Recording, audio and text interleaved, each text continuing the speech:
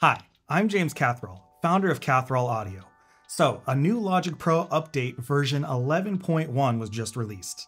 It contains a lot of quality of life improvements that people have been asking for a long time now. This feels like the better late than never update, and we're going to talk all about it. But first, let's talk about the safe way to update the app.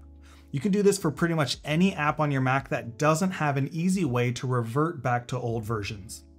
This can give you the peace of mind to update, but still have the ability to go back to an old version if the new update is giving you major issues. Start by opening up the Applications section in the Finder window. Right-click Logic Pro and select Duplicate. Once it's done duplicating, rename the copied one. You can name it whatever you want. I usually add parentheses to the end and put whatever version it is. This makes it pretty easy at a glance to know which version is which, especially if you've done this a lot and have a bunch of old versions stocked up. Once that's done, you can go to the App Store and safely update Logic Pro. You'll know you've done it right by looking at the preview on the side of the Finder window and at the bottom, it'll show you which version that highlighted app will be using. So now if you have some type of catastrophic compatibility issue with the new version, you can just open up the older version which you were previously running on and you're good to go. Now, with that done, let's start looking at the updates. They added a new reverb plugin, the Quantec Room Simulator, which is a software emulation of the hardware from the 80s. It contains emulations of two devices, the Room Simulator and the Yardstick which is often used in movies and other recordings to be able to put people in a realistic space in post-production.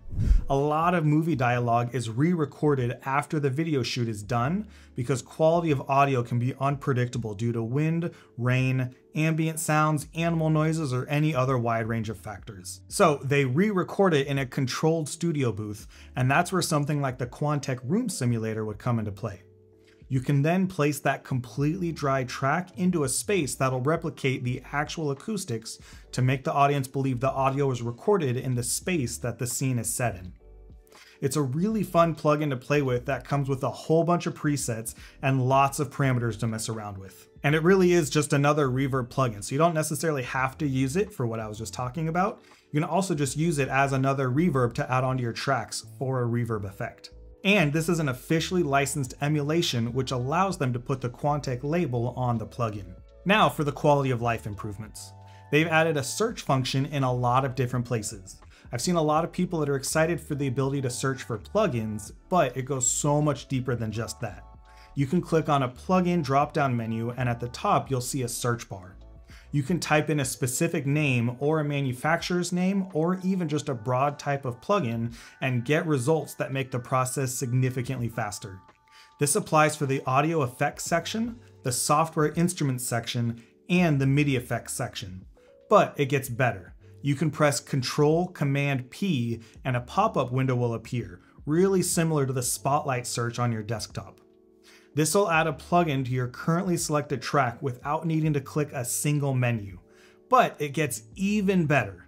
This search function also applies to sends and output selection. So when you're deep into mixing a track and you have 38 different aux sends set up, you can type in the bus number or the name of the aux track and quickly add it to the channel. Next, you can rearrange the tracks in the mixer window. Just click and drag them around in the mixer and it will also rearrange them in the main tracks area. You can rearrange one track at a time or multiple by highlighting one track, hold shift and select a different track and it'll highlight everything in between and you can drag all of them together.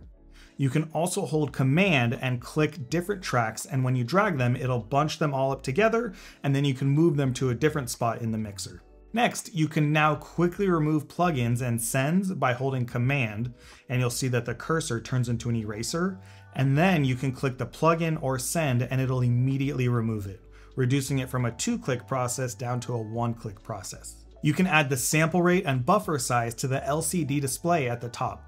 I really like this one because the sample rate is in a really odd and out of the way menu. This now allows you to change either of those quickly by clicking on them in the LCD display. This is also great for the buffer size since it's usually a good practice to record with the lowest buffer size that your computer can comfortably handle. That way the latency is as low as possible. And then bump the size back up when mixing to lower the strain on your CPU. Next, you can hide the mastering assistant from the stereo output by opening the settings, go to the View section, click on the Mixer tab, and the checkbox is here at the top.